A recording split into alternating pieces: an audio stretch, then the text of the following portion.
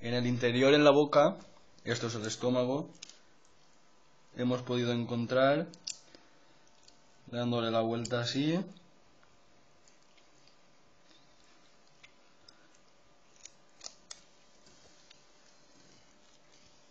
hemos podido encontrar una,